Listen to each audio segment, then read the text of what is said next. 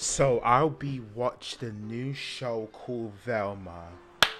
So yeah, Velma is getting a show, and also I'll be watching um, Mystery Incorporated.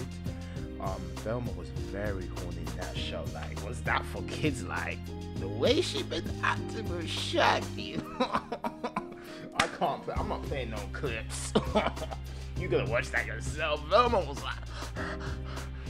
Um, we got Asian um Daphne. So, with any um disappointing criticism I'm gonna give the show, is probably gonna be that um Daphne um, made the show 10 out of 10 for being the first Asian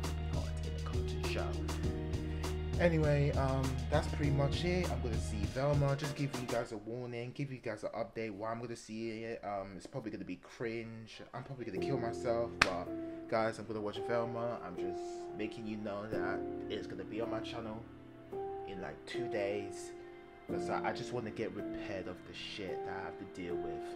But yeah, um. Um, by the way, Pyro fell off.